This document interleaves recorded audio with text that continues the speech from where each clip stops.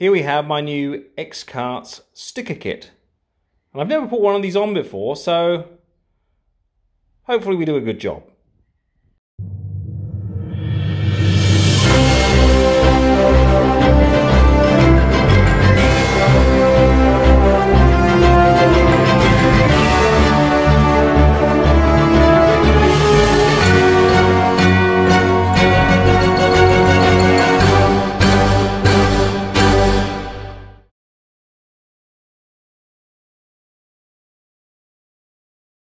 So what I'm doing tonight is this is my first attempt ever at putting on a uh, sticker kit for a go-kart.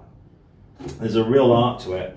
Um, it takes a lot of time if uh, you're new to it, but you basically just got to work your way through it, try and get rid of the bubbles.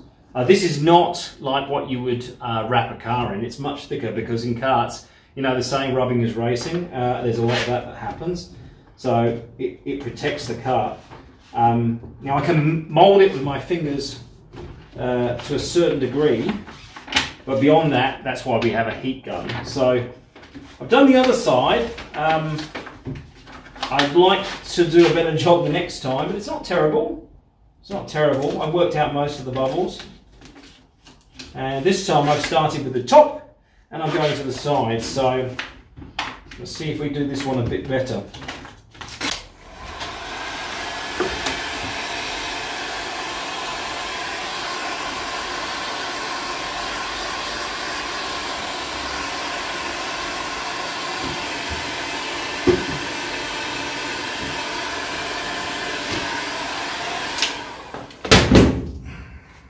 A moment, I thought I'd butchered this one, but I've uh, I think I've recovered and got rid of most of the bubbles.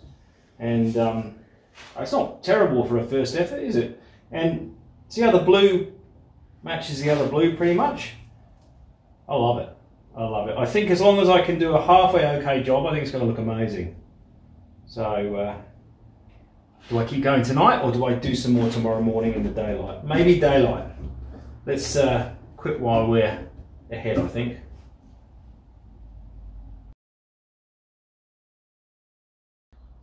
Well, we're working on the front cowling of the kart now, and I've kept some of the old sticker kit on there just to give me a guide of where things should go.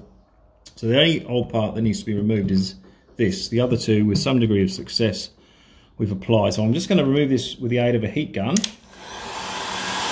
should be fairly easy. Without putting it on too much on the new sticker kit, although I'm still I'm still massaging that into place, so it's not going to matter too much.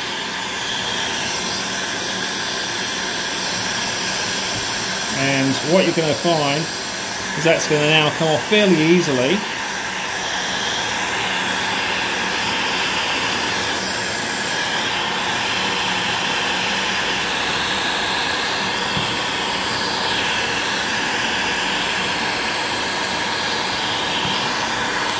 Nearly there.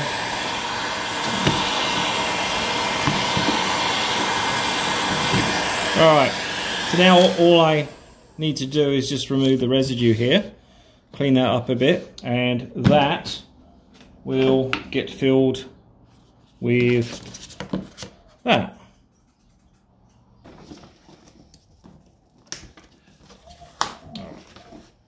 So at this point I'm going to pick up the heat gun. This is going to help me.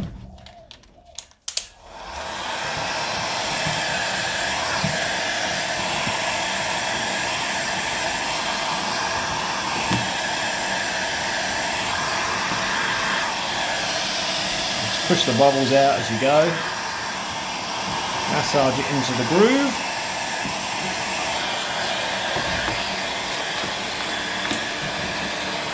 I'm just going to heat the bit that isn't applied at all. And what I'm going to do then, I'm going to turn it off. I'm going to take all that off and just squeeze out the bubbles as I go and now I'm just going to come back to that area there. Can always lift it up if it's really bad, but I think we're pretty close.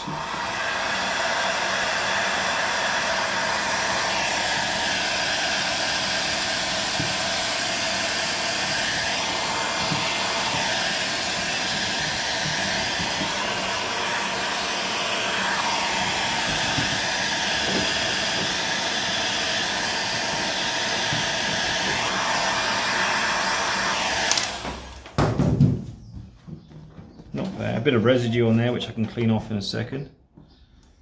I'll continue to massage this into the bodywork. That's right. Well, ladies and gentlemen, the end is in sight. We're nearly there. Just removing the last little bit of old sticker kit, except for a number on the back. I don't have a, got to get a new number on the back. At the moment, it's just over the old number, so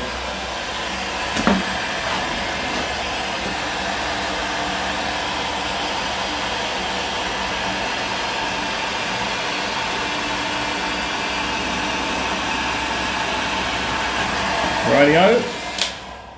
Clean that up and then the last little sticker and we are done. So I'm pretty much finished now. All I'm doing here is tightening up these bolts that I've elected to put through the artwork rather than put the artwork on top of it. Um, or on top of them rather. I just think it looks a bit tidier, but also it's really handy to be able to take it off if I need to.